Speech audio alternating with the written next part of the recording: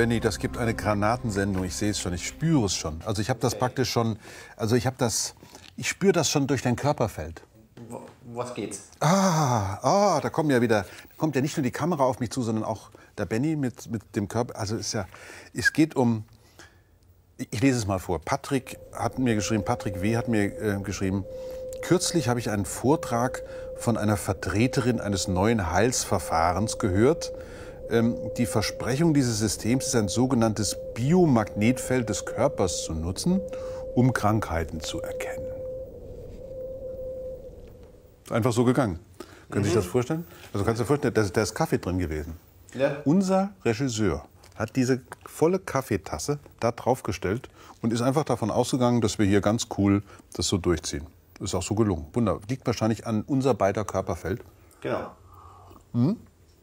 Ein Gerät, so geht's weiter hier, ein Gerät kann angeblich Daten auf eine Wirksubstanz übertragen. Diese Daten werden vorher über das Körpermagnetfeld gesammelt und auf einem Computer verarbeitet. Die angebliche Wirksubstanz enthalte die in Anführungsstrichen Information in Spurenelementen. Die Frage ist jetzt, wie können elektromagnetische Impulse in eine Substanz gelangen, beziehungsweise verwandelt werden. Er schreibt dann noch dazu, ich nehme die Sache nicht ernst, dennoch finde ich den Gedanken lustig. Tja. Ja, ich will ja jetzt hier nicht rumhacken auf irgendwelchen Biomagnetfeldern und so weiter. Ich meine, wir haben ja zum Beispiel schon mal eine tolle Sendung gemacht über, so fand ich zumindest, über Malaria und haben dann darüber gesprochen, wie neue Malariatherapien aussehen, weil man eben weiß, die Ausscheidungsstoffe der Malariaerreger enthalten Eisen und Eisen reagiert auf externe, also äußere Magnetfelder. Und die Idee war und ist wohl inzwischen auch ziemlich erfolgreich umgesetzt worden, dass wenn man diesen Malariaerregern es unmöglich macht, diesen Abfall, den sie produzieren, der für sie selbst giftig ist und der Eisen enthält, dass sie den nicht loswerden können, indem sie nämlich in ein praktisch der, der Erkrankte wird in ein rotierendes Magnetfeld gebracht. Das bedeutet mit anderen Worten, die Ausscheidungen der Malariaerreger bleiben in ihnen stecken und die Malariaerreger verrecken daran. Also solche Zusammenhänge zwischen Magnetfeld und dem Körper eines Menschen sind ja völlig klar. Aber was soll das mit dem Biomagnetfeld sein? Was soll das sein? Was, wovon ist denn da die Rede? Da werden ja alle möglichen Therapien angeboten und ähm, das wird dann in, in verschiedenen Varianten, Matten, Kissen, intensiv und Fußreflexzonen, Matten wird das angeboten, etc. etc. Äh, Und es wird immer davon ausgegangen, dass hier so, so, so Worte wie Energie und Feld, die man aus der Physik ja gut kennt, wenn man die jetzt richtig in den Zusammenhang dieser, ich will es mal so nennen, etwas alternativen Heilsmethode einbringt, dann würde das natürlich bei dem entsprechenden Klienten oder dem Patienten sogar den Eindruck machen, aha, hier handelt es sich um richtig tiefgehende Wissenschaft, das ist alles hundertprozentig untersucht und das ist richtige Wissenschaft. Hm, Das ist noch die Frage, ob das wirklich richtige Wissenschaft ist, denn über, über Untersuchungen davon weiß man wenig und über Ther Therapieerfolge weiß man eigentlich auch wenig. Und zu allem kommt noch etwas dazu, was bei diesen alternativen Therapien ganz wichtig ist. Die meisten Patienten, die sowas benutzen, denen steht das Wasser bis zum Halse. Die haben schon vieles ausprobiert aus der Schulmedizin für die ist das jetzt ein Hoffnungsträger. Also und damit auch ein starker Placebo-Träger. Das heißt, der Organismus reagiert darauf, das ist was, was mir Hoff Hoffnung gibt und diese Hoffnung kann tatsächlich auch Heilung verursachen. Das ist ja ohne Zweifel richtig. Alles wunderbar. Und am Ende, was ich das Allertollste finde, wenn man sich darüber äh, informiert, ist, wie gerissen da einige Geschäftemacher sind, indem sie also einem ein Magnetfeldtherapiegerät anbieten und gleich zugleich darauf hinweisen, aber bitte achten Sie auf Qualität. Lassen Sie sich nicht, wie das so schön heißt, auf Kaffeefahrten dubiose Geräte aufschwätzen, äh, und, so dass der Verkäufer den einzigen positiven Nutzen davon hat.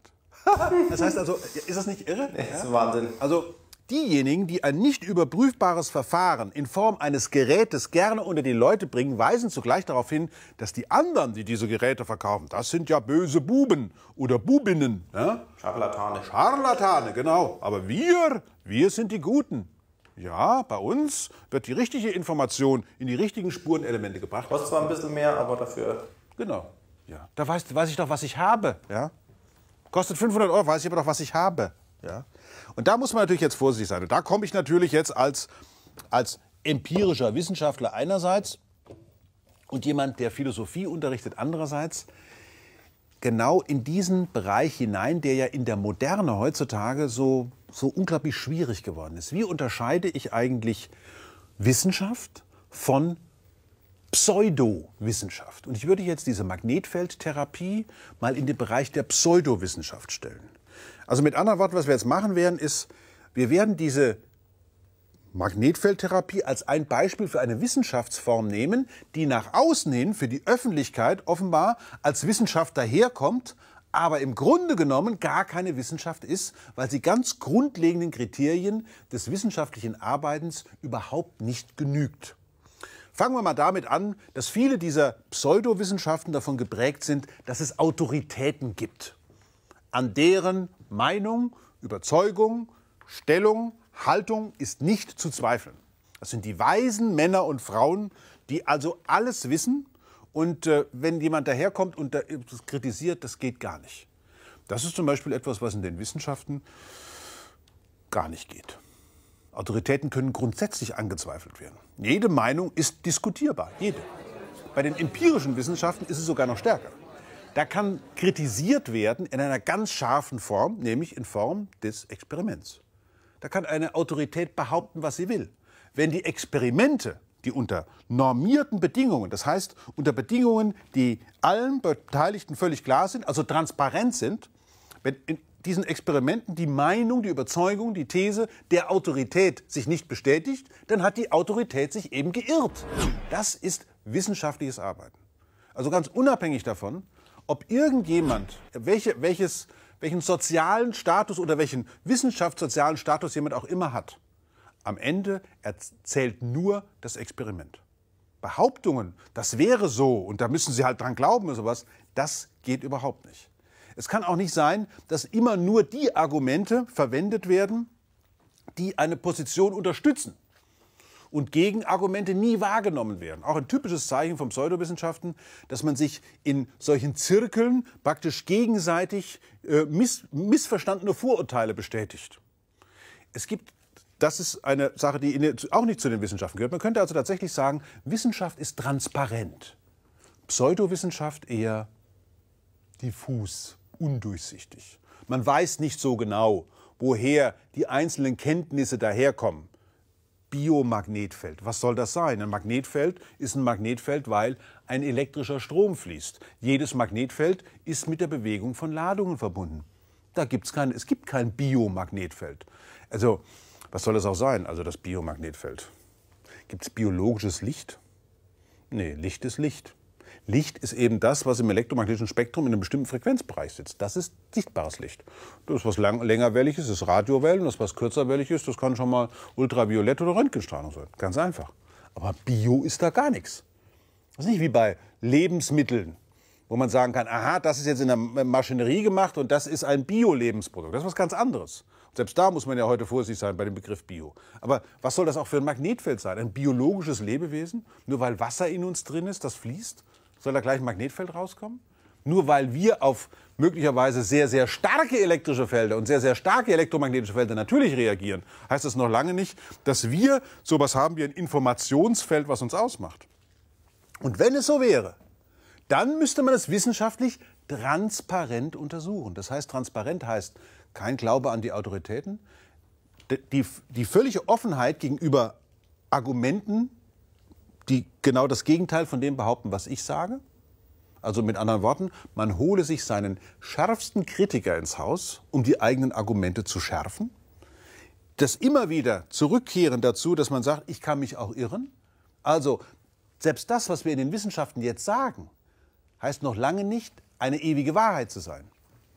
Wichtig ist auch, zu den Pseudowissenschaften gehört oft so eine, so eine Art von Verschwörungs, Verschwörungsphilosophie dass man sagt, ja, die wollen das ja alle nicht, dass das bekannt wird, was wir wissen, weil dann, ich weiß nicht, irgendwas zusammenbräche. Immer bricht ja irgendwas zusammen, ganz Weltbilder und das ist alles Blödsinn. Viele von den Pseudowissenschaften haben sich in ihren Begrifflichkeiten, haben sie sich sehr, sehr nah an den Wissenschaften oder orientieren sie sich sehr, sehr nah an den Wissenschaften, gerade so Begriffe wie Feld, Information, Energie, wird gerne verwendet, all sowas wird gerne verwendet, aber es wird nie so verwendet, wie wir das in den normalen empirischen Wissenschaften tun. Wir haben Definitionen von was ist die Rede. Was ist das, was Wirkung ausübt? Und wie genau können wir es messen? Wir sind vor allen Dingen daran interessiert, die Effekte, die wir in den Wissenschaften hypothetisch zunächst einmal annehmen, wenn wir die einmal gemessen haben, dann ist der wissenschaftliche, der, der, wissenschaftliche Rahmen besteht dann darin, diese Effekte immer genauer und genauer und genauer zu messen. Also immer präziser zu werden, immer genauer zu wissen, wovon ist eigentlich die Rede. Pseudowissenschaftliche Systeme machen den Eindruck, als wenn sie einmal gefunden für immer und ewig so bleiben. Da gibt es keinen Prozess der Kritik. Es gibt keinen Prozess der Entwicklung. Das heißt, die sind überhaupt nicht evolutiv, weil sie keinen Erfolg kennen oder beziehungsweise sie kennen keine Niederlagen, sie kennen keinen Irrtum, sondern sie sind immer richtig. Während auf der wissenschaftlichen Seite sich langsam emporgeirrt wird von von Irrtum zu Irrtum es weitergeht, von Versuch und Irrtumsbeseitigung, das ist die Rede von der wissenschaftlichen Geschichte, sind die Pseudowissenschaften immer schon festgemauert in der Erde, steht die Pseudowissenschaft aus Ton gebrannt. Der Wahnsinn. Und trotzdem, und genau wahrscheinlich deshalb, wegen dieser sehr starken patentrezeptartigen Form, haben diese Pseudowissenschaften einen so großen Zulauf. Wenn man sich mal überlegt, welchen Qualitätskontrollen sich Wissenschaft heute unterziehen muss, man denke nur, und das nicht nur bei Großtechnologieprojekten, sondern bei jeder einzelnen Projektierung, bei jedem einzelnen technologischen Projekt gibt es eine Überprüfungsstelle, die überprüft, ob dieses Gerät überhaupt in den allgemeinen Handel gelassen werden darf und so weiter. Ist es sicher? Wenn man sich also überlegt, welche, welchen Qualitätskontrollen heutzutage wissenschaftliche Erkenntnisse nicht nur in der Wissenschaft, sondern vor allen Dingen auch in der Technologie ausgeliefert sind, da muss man sich wirklich fragen, woher kommt eigentlich die Großzügigkeit gegenüber solchen Heilsversprechungen von Pseudowissenschaften? Wie kommt das eigentlich? Mit unseren Schulmedizinern sind wir nie so großzügig wie mit jemandem, der uns sagt, du, ähm, wenn du an deinem Körperfeld ein bisschen arbeiten würdest, ähm, dann würdest du sicherlich wesentlich gesunder aussehen. Ich glaube, wenn du bei meinem Seminar, ja, ich sehe das hier so, also wenn du hier bei meinem Seminar auf Lanzarote mal mitmachen würdest, wir machen, wir arbeiten, wir kneten einfach mal dein Körperfeld ein bisschen durch. Ähm, wir versetzen dich einfach mal so ein bisschen in so einen Zustand, ähm, wie du mal gerne sein möchtest und wie du gerne sein möchtest, das sage ich dir dann schon. Und wenn du mir bei der Gelegenheit noch 3000 Euro auf mein Konto überweisen könntest, wäre mir das natürlich sehr recht, denn wir haben ja Ausgaben. Äh, du hast natürlich in Lanzarote äh, eine kleine Hütte. Und ähm, mhm. das ist aber dann auch bei eine schöne Gegend. Brot und Wasser. Bei Brot und Wasser. Und das wird natürlich genau diese Askese geradezu, die wird dich natürlich auch in besonderer Art und Weise, wird sie dich nochmal beeindrucken. Und ich glaube, dass dein Körperfeld hat und so weiter. Bla bla bla bla. Ja, das gibt's. Ich weiß nicht, nicht auf Lanzarote, weiß ich jetzt nicht. Aber genau diese Heilsversprechen gibt es. Dabei kann man ganz anders damit umgehen. Der gesunde Menschenverstand sagt einem doch was ganz anderes. Völlig wurscht, was in dem Moment tatsächlich mit einem passiert, wenn man sich einem solchen Gerät aussetzt. Alleine nur die Reflexion, die in einem stattfindet, mit mir selber über meinen Zustand, den ich jetzt zu verändern hoffe. Alleine nur das. Und selbst eine, eine, eine Hütte in Lanzarote könnte das hervor, hervorrufen, dass man sich mal zurückzieht von dem ganzen Trubel, den ganzen, alles, was auf einen wirklich hereinströmt. Man isst da mal, man muss sich ja um nichts kümmern, man isst vielleicht auch tatsächlich ein bisschen weniger. Aber was passiert denn dann? Die Aufmerksamkeit von uns, in uns und über uns, die steigt. Und vielleicht fühlt man sich deshalb wohler. Und man heilt sich auf diese Art und Weise tatsächlich selber. Das wird man vielleicht auch nie richtig in allen Einzelheiten rausfinden. Aber diesen Effekt, den kann man wissenschaftlich untersuchen. Den hat man auch schon untersucht. Dieser Effekt, dass jemand sich schlicht und ergreifend gesund, gesünder fühlt, wenn er ein bisschen entspannt ist, dafür braucht man nichts anderes als gesunden Menschenverstand. Also am Ende ist es so, dass diese Pseudowissenschaften uns darauf führen, dass unser gesunder Menschenverstand eigentlich das Allerbeste ist. Habe Mut, dich deines Verstandes zu bedienen. Schon wieder Kant. Ja, das, der eigene Verstand, der muss es sein. Wir sollten uns nicht verarschen lassen. Auf keinen Fall. Von keinem Körperfeld und auch nicht von irgendwelchen Biomagnetfeldern. Das ist nämlich Pseudoquatsch. So sieht's aus.